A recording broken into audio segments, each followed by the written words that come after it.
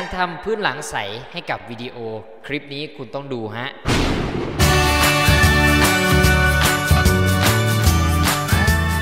สวัสดีท่านผู้ชมทุกท่านนะครับวันนี้กลับมาพบกับผมอีกครั้งในรายการบิ๊กกบ Channel อย่าลืมกดไลค์กด subscribe ให้ผมด้วยนะฮะ วันนี้นะครับเราจะมาสอนวิธีการทำวิดีโอพื้นหลังใสนะครับด้วยโปรแกรม After Effects นะฮะขั้นแรกนะครับท่านผู้ชมต้องมีโปรแกรม After Effects กันก่อนนะครับสามารถหาโหลดได้ตามอินเทอร์เน็ตทั่วไปเลยและอย่างที่สองนะครับท่านผู้ชมต้องมีตัวโลโก้ของตัวเองนะครับหรือว่าไฟล์ที่ต้องการทำพื้นหลังใสนั่นเองเมื่อเตรียม 2 อย่างเสร็จสิ้นแล้วนะครับวิธีต่อมานะครับให้เราทำการเข้ามาที่ตัวโปรแกรม Adobe After Effects กันนะฮะ จากนั้นเมื่อเข้ามาแล้วนะครับ ให้เราทำการสร้างโปรเจกต์ขึ้นมาใหม่ก่อนนะครับ โดยการไปกดที่คำว่า new project นะฮะ ทางด้านมุมซ้ายมือตรงนี้นะฮะจากนั้นหน้าต่างจะปรากฏแบบนี้ขึ้นมานะครับท่านผู้ชมให้เราทำการสร้าง new composition ขึ้นมานะครับ โดยการคลิกตรงกลางนะครับ ตรงคำว่า new composition ตรงนี้นะฮะ คลิกซ้ายหนึ่งครั้ง จากนั้นนะครับให้ตั้งชื่อ composition นะครับ ใครที่ต้องการตั้งชื่ออะไรก็ตั้งไปนะฮะ ในกรณีนี้ผมจะใช้เป็น com 1เหมือนเดิมนะครับ แล้วก็มาที่คำว่า basic นะฮะตรงนี้นะครับ pieces นะฮะ เป็น custom นะครับ สร้างเป็นไฟล์ full HD นะครับ ปรับตามผมเลยนะฮะ width เป็น 1920 นะครับ ส่วน height เป็น 1080 นะครับ click lock aspect radio นะฮะ จากนั้น pixel นะครับ ให้เป็น square pixel นะครับ เป็น square pixel นะ เลือกตามผมเลย frame rate เป็น 60 frame rate นะครับท่านผู้ชมสามารถคลิกได้นะครับว่าต้องปรับเท่าไหร่นะครับผมปรับเป็น 60 frame rate แล้วก็ resolution ตรงนี้ให้แล้วก็ resolution ตรงนี้นะครับให้ปรับเป็น full นะฮะแล้วก็ start time code นะครับนี่คือจุดเริ่มต้นของเวลานะฮะให้ให้เป็นศูนย์หมดเลยนะครับส่วนต่อมานะฮะ duration นะครับ duration ก็คือจุดสิ้นสุดของคลิปนะฮะต้องการให้วิดีโอตัวนั้นเนี่ยกี่วินาทีเราก็กำหนดไปนะครับในกรณีของผมเนี่ยเป็น 10 วินาทีนะฮะก็จะใส่อย่างนี้ไปนะครับ background color นะครับเราใช้เป็นสีดำนะฮะจากนั้นกดโอเคครับผมเมื่อปรากฏหน้าต่างแบบนี้ขึ้นมานะครับท่านผู้ชมให้ไปที่มุมบนขวามือนะครับให้ไปคลิกที่คำว่า standard นะฮะแบบผมนะครับกด yes นะฮะจากนั้นเมื่อเมนู standard ขึ้นมาแล้วนะครับจะเป็นสีฟ้าๆแบบนี้นะฮะท่านผู้ชมจากนั้นนะครับให้เราทำการเอาโลโก้ลงมานะครับท่านผู้ชมก็กดคลิกซ้ายลากที่โลโก้แล้วก็มาไว้ตรงที่กระดานสีดำตรงนี้เลยนะฮะวางลงไป ปุ๊บมันจะขึ้นแบบนี้มานะท่านผู้ชม ให้ไปดูที่มุมซ้ายมือนะครับท่านผู้ชมจะเห็นไฟล์ layer ของผมนะครับ ตรงนี้นี่คือไฟล์ของเรานะฮะ แล้วเราสามารถที่จะย่อขยายสเกลได้นะครับ โดยการกดไปที่ key ตรงนี้นะฮะ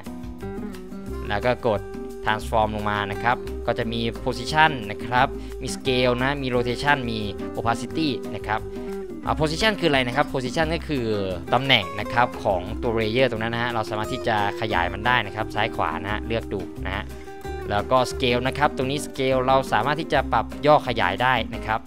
ส่วน rotation นะครับ ก็คือการเอียงนะฮะ แล้วก็ตัว opacity นะครับเป็นการโปร่งใสโปร่งแสงนะฮะเราสามารถลดมันได้นะครับยิ่งเลขต่ำนะครับก็จะยิ่งทำให้ตัว opacity นั้นหายไปนะครับโอเค ส่วนวิธีการต่อมานะครับเราจะย่อขยาย scale นะฮะโดยการไปที่ตัวคำว่า scale นะฮะแล้วก็สามารถจับ layer เราได้นะฮะให้มันอยากจะเลื่อนไปตรงไหนนะครับ ตรงนี้ปุ๊บ แล้วผมต้องการที่จะ key frame ใช่ไหมท่านผู้ชม ก็สามารถกดไปที่คำว่า scale นะครับ อันนี้ผมจะ key frame ให้ตัวผ้าของผมเนี่ยมันเด้งขึ้นมานะครับกด key frame หนึ่งครั้งนะ ตรงที่รูปนาฬิกานะฮะท่านผู้ชมนี่คือเฟรมแรกนะครับกด page up page down นะครับเพื่อที่จะ score key frame ไปข้างหน้านะครับหรือว่า score time frame ไปข้างหน้านะฮะ score time frame ไปข้างหน้าวิธีก็คือกด page down นะฮะเพื่อขยับไปข้างหน้านะครับ ผมจะขยับไปแค่ 10เฟรมนะฮะอ่าแล้วก็กดตรงรูปตรงนี้อีกครั้งหนึ่งนะครับเป็นรูป add keyframe นะฮะ นะครับเราจะได้2 layer ตรงนี้มานะท่านผู้ชมจะเห็นนะฮะนี่คือเลเยอร์ keyframe ของเรานะฮะท่านผู้ชมอ่าผมทำไว้ 2 จุดนะครับเมื่อเราได้ 2 จุดนี้มาแล้วนะครับท่านผู้ชมเราจะไปที่จุดแรกนะครับให้มันอ่าหายไปนะครับหรือว่าให้มันเล็กลงนะครับเราจะขยับสเกลนะฮะหรือว่าใส่เป็นเลขศูนย์ไป คือมันหายไปแล้วท่านผู้ชม แล้วเราก็ลองกด space bar เพื่อ play ดูนะฮะ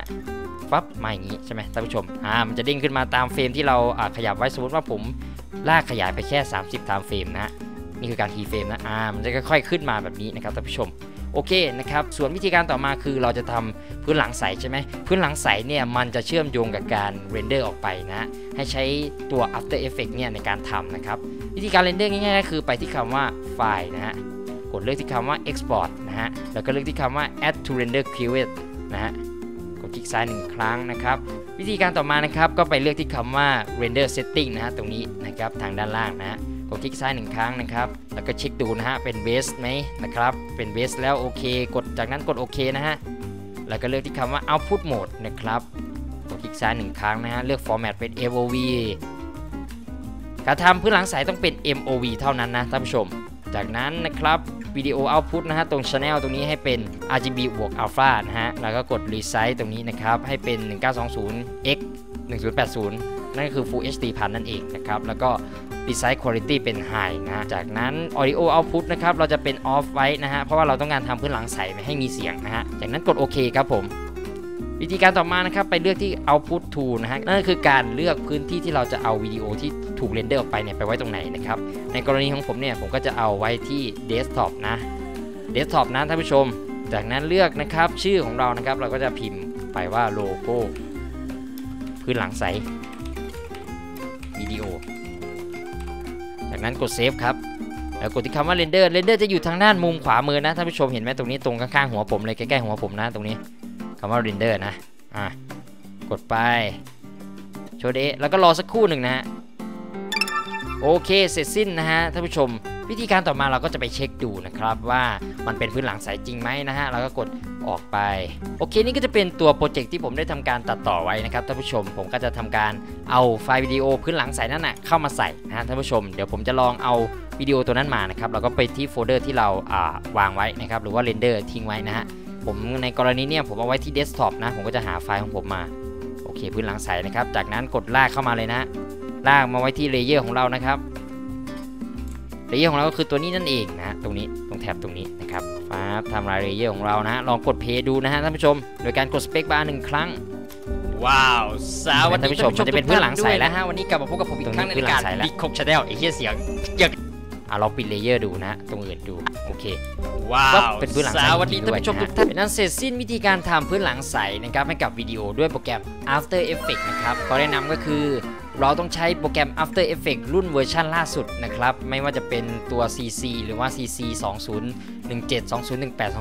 2019 ขึ้นไปนะฮะ มันจะทำง่ายนะครับแล้วก็จะตรงกับเวอร์ชันของผมนะครับสำหรับใครที่เห็นว่าคลิปนี้มีประโยชน์นะครับ อย่าลืมกดไลค์กด Subscribe แล้วกดกระดิ่งแจ้งเตือนเพื่อเป็นกำลังใจให้ผมได้ทำคลิปดีๆ แบบนี้ต่อไปด้วยนะฮะแล้วคลิปหน้าเราจะมาทำอะไรนะครับ อย่าลืมติดตามรับชมกันด้วยนะฮะสำหรับวันนี้พี่โคกต้องขอตัวลากันก่อนแล้ว สวัสดีครับบ๊ายบาย